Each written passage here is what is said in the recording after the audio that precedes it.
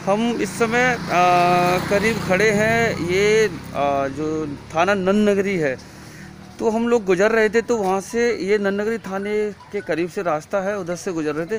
तो एक बुज़ुर्ग है और वो तीन बच्चों को लेकर इस आ, जो है ना क्या नाम है ये रिक्शा है। ये देखिए ये रिक्शा है इस पर बैठे हैं और ये अपनी मजबूरी बता रहे रोने लगे थे। तो हमने इनकी जो है ना दास्तान सुनी तो हमने कहा देखते हैं क्या बात। तो इनकी ये दास्तान हम खुद ही इन्हीं के मुँह से सुनते हैं और ये खुद बताएँगे। इस रिक्शे पर तीन छोटे छोटे बच्चे भी बैठे हुए हैं और बहुत परेशान हैं, बहुत ज़्यादा परेशान और ये भूखे भी हैं। अंकल जी, आप बताएँगे आपका शुभ नाम क्या है और आप कैसे परेशान हैं, बताएँगे? मेरा शुभ नाम चाँद बाबू है। मैं अब से पहले भेंटा हाजीपुर में रहता था। अब से आठ नौ साल पहले वहाँ मेरा एक्सीडेंट हो गया। एक्सीडेंट होने के कारण मेरा वहाँ जिस गाड़ी से एक्सीडेंट हुआ उस ड्राइवर ने इलाज नहीं कराया।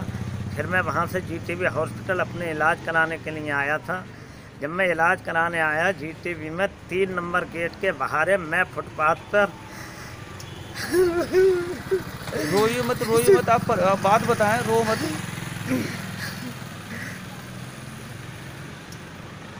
जीटीवी सात नंबर गेट आठ तीन नंबर गेट पर मैं फुटपाथ पर अपने परिवार को लेकर रहता था। इसी बीच मुझे मेरी जान पहचान का एक आदमी जो मेरी बहन के यहाँ पर बैजोई में रहता था वो अपने लड़के का इलाज कराने जीटीवी हॉस्पिटल आया। मेरे लड़की बड़ी वाली जिसका नाम गुलबहर था वो अपने मामा के यहाँ आई हुई थी। जब वो अस्पताल में मुझे अचानक मिला पुरानी मेरी जान पहचान होने के कारण मैंने उसके मोबाइल से अपनी लड़की को अस्पताल बुलाने के लिए फ़ोन किया। फ़ोन पर मेरी लड़की ने यह कहा, ठीक है पापा, मैं कल आ जाऊँगी। इसी बीच वो अपना मोबाइल लेकर अपने लड़के के पास अस्पताल चला गया। अंदर और मैं बाहर, तीन नंबर गेट पर ही रह रहा था, मैं बाहर रह गया। दूसरे दिन मेरी लड़की के फ़ोन पर उसने संपर्क साध कर और मेरे लड़की को वो लेने आनंद विहार पहुँच गया। और आनंद विहार पहुंचकर मेरी लड़की को वो अपने साथ यहाँ से कासम विहार ले गया करावल नगर के पास। मुझे पता चला कि लड़की अभी तक आई नहीं। मैंने उसके मामा के पास फ़ोन किया। मेरे साले ने यह कहा कि लड़की तो यहाँ से चली गई। तो मुझे पता चला, जब मैं अस्पताल शक के आधार पर देखने गया तो उसकी पहले वाली जो पत्नी थी, जो थी, वो उसने कहा, तुम्हारे लड़की को मेरा पति भगा कर ले गया।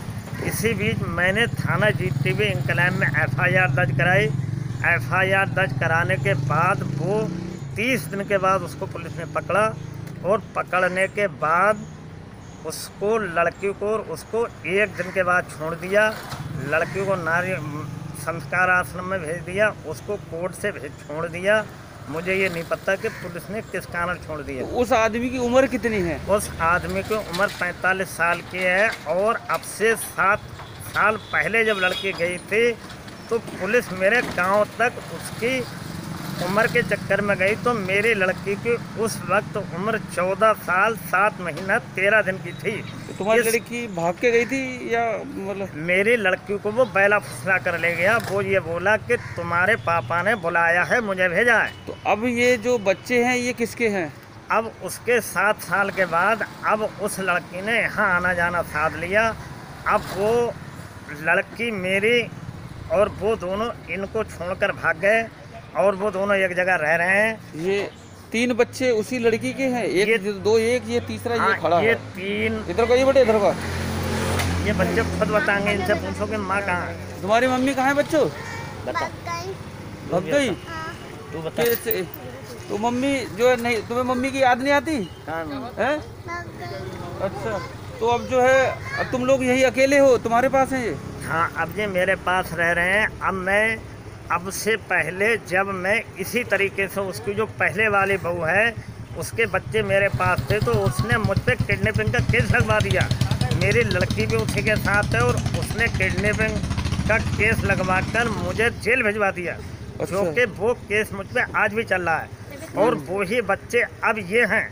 अब मैं आज थाने इस वजह से आया था कि थाने से मेरी मदद मिल जाए कुछ मुझे और मतलब पुलिस वाले कुछ मेरी मदद कर दें। तो इस समय तो लॉकडाउन चल रहा है तो पुलिस भी एक मजबूर है इस समय कि भाई ऐसी सिचुएशन में क्या कर सकती है? तो पुलिस भी इस समय बहुत मजबूर है क्योंकि पुलिस ही बेचारी इस तरीके से जो है सबको वो कर रही है। लेकिन आप जो है ना जिस तरीके से आप परेशान हैं तो वहाँ थाने में आपको क्या कहा गया?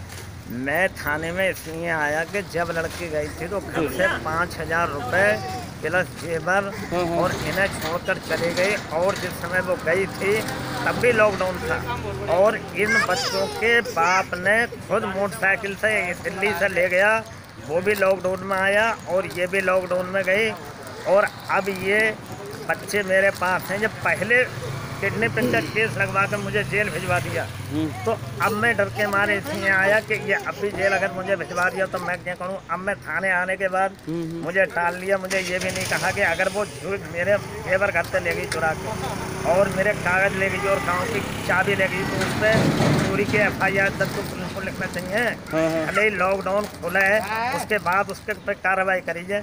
तो इतना तो कम से कम मेरे तो साथ आप जो है ना आ, एक यहाँ पे एप्लीकेशन दी या आज पहली बार आए हैं थाने?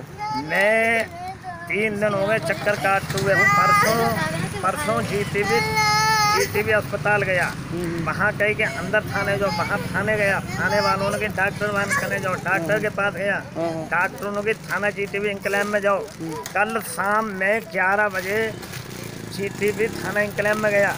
वहाँ जाने के बाद वहाँ पुलिस ने कि नन नगरी जाना कल सुबह। अब मैं आज आठ बजे आया बोले अभी कोई है नहीं। अब आया तो अब कह दे कि लॉकडाउन चल रहा है। आप जाओ और उसका फ़ोन नंबर भी है। और मैं जब फ़ोन नंबर पर उससे बात करता हूँ इन बच्चों के बाप से कि अपने बच्चों को ले जा मुझे कोई लेना देना नहीं है इन्हें तो ले जा तो वो मुझे गाली बकता है और मुझे जान से मारने की धमकी देता है। और उसके नंबर से इन बच्चों के बाप की आज अभी स्वयं बात पुलिस वालों से भी कराई अच्छा। अभी भी। हाँ, हाँ। फिर भी कई जाओ इन्हें खिलाओ तो इन बच्चों के लिए खाने पीने की व्यवस्था देखिए एक बेटी ये लेटी पड़ी है जो बुखार भी है इसे बहुत तेज बुखार है ये छोटा बच्चा है। लेकिन उस तुम्हारी जो लड़की उसका नाम क्या है? लड़की का नाम गुलबहार है जिसकी उम्र आज अब उन्नीस साल हुई है और जो तो ये बच्चे मतलब जो कितने दिन पहले मतलब सात साल पहले। अच्छा अच्छा। तो और अब उसकी उम्र करीब साठ अड़सठ के करीब पहुँच चुकी अच्छा है। मगर ये तो इन बच्चों को छोड़ के आपके पास छोड़ के हाँ, आप लड़की के पिताजी हैं? मैं उस लड़की का पिता हूँ। गुलबहार के? जी हाँ। अच्छा। और जो बंदा ले गया है उसकी तीन औरत है। अच्छा तीन एक बीबिया और ऑलरेडी है। औरत है और एक औरत जो है उसके सात बच्चे हैं हम्म, हम्म। और वो उन बच्चों को भी छोड़े पड़ा है। प्लस अपनी उस औरत को भी छोड़े पड़ा है। और ये बच्चे मेरे पास छोड़ा उस आदमी का नाम क्या है? उस आदमी का नाम जाकिर है। काम उसका कुछ नहीं है। खाली किराए पे गाड़ी चलाता है ऑटो अच्छा। और उसका कोई काम नहीं है। ना कहीं घर है ना मकान है ना दुकान है। उसकी सिर्फ़ गाँव में बारह बीघा ज़मीन है। अच्छा अच्छा। गाँव कहाँ पर है? गाँव उसका बैजोई के पास मानकपुर पड़ता है जिला? और ये थाना कोर्ट कचहरी का मैटर जो भी बनता है तो मुझसे ये चैलेंज के साथ कहता है कि मेरी एक बीघा जगह पाँच लाख रुपए की नहीं वो जैसे गाँव जो है उसका वो जिला कौन सा लगता है? तहसील कौन सी लगती है? जिला संबल है तहसील चंदोसी है अच्छा, थाना? और जिला मुरादाबाद है अब संबल बन गया है। अच्छा। हाँ यूपी में पड़ता है वहाँ का वो रहने वाला है। और एक बात मैं सिर्फ़ और कहना चाहता हूँ बाबू जी। मेरी जब वो लड़की को ले गया था हाँ। मैंने उससे बोलचाल बंद कर दी बोलना जानना बंद कर दिया। उसके बाद उसने अपनी माँ से किसी तरीके से फ़ोन पे संपर्क साध लिया और बच्चों का किसी तरीके से आना जाना हुआ। आना जाना होने के बाद मेरी लड़की दूसरे नंबर की जिसका नाम आयशा है वो उसके घर मेहमानी खाने गई तीन दिन। हम्म, तीन दिन की जब मेहमानी खाने गई उस लड़की के साथ उसने बलात्कार कर डाला रात में तमंचा के नुक पर शराब पीकर। अच्छा। और वो लड़की जब अपने घर आई मतलब बाप के घर आयशा दूसरी वाली हम्म। उस लड़की की बीस दिन के बाद अचानक तबीयत खराब हो गई।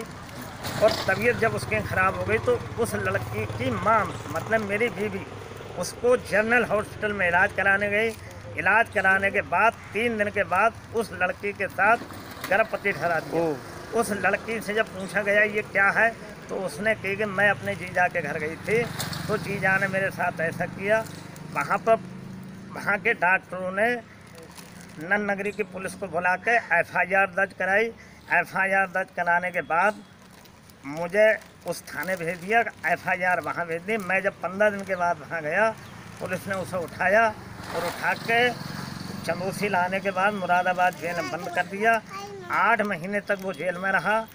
आठ महीने तक जब वो जेल में रहा, तभी इन बच्चों की माँ मतलब मेरी लड़की, मेरे घर आई और मेरे कने छोड़ के चली गई कि, बाप, मेरे गलती हो गई। मेरे आदमी ने शराब पी रखी थी इसलिए ऐसा कर दिया। मेरे माफ़ कर दो। तो मैंने कहा माफ़ मैं नहीं करूँगा। या तो ऊपर वाला माफ़ करेगा या उसे जो बुरा करा है, उसे वो सज़ा मिलेगी। तब वो लड़की ना ही वहाँ रही ना यहाँ रही इधर उधर रहती रही। है तब भी मेरे पास बच्चे रहे।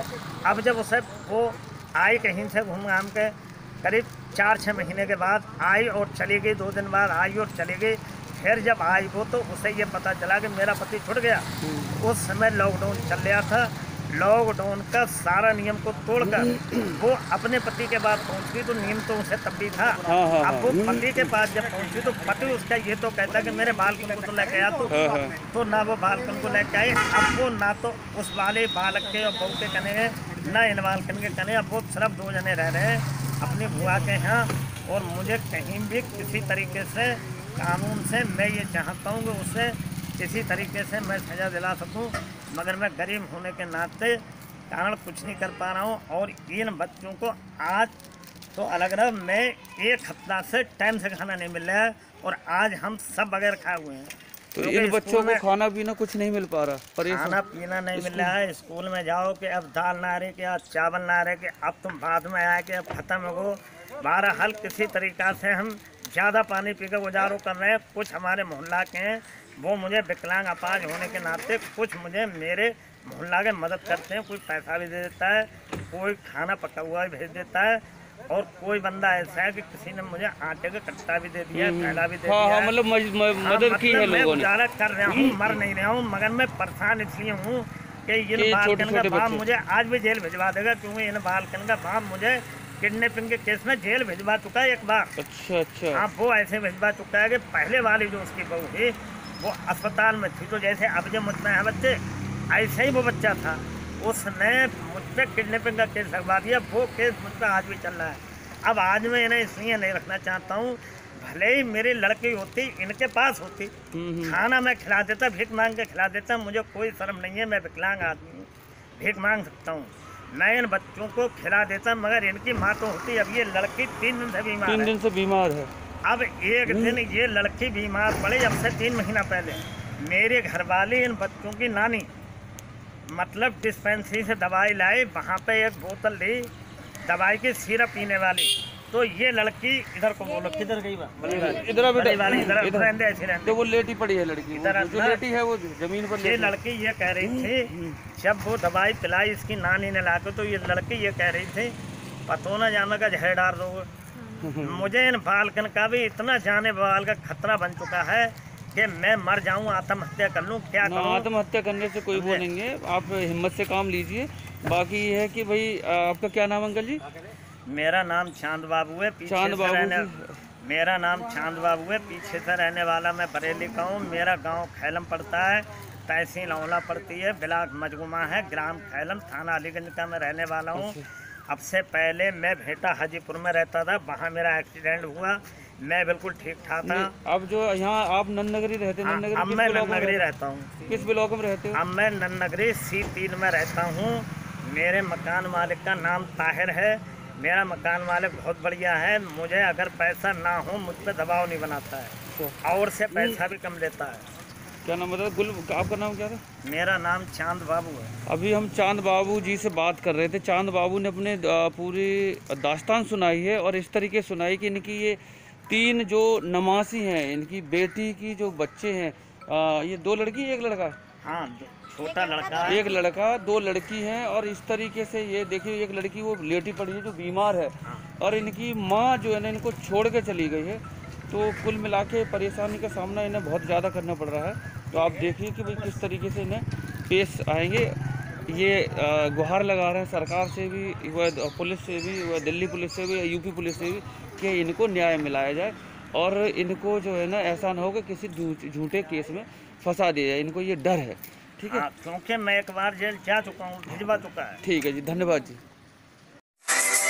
जनवाद टाइम्स की सभी खबरों को लगातार देखने के लिए चैनल को लाइक सब्सक्राइब और शेयर ज़रूर करें। धन्यवाद।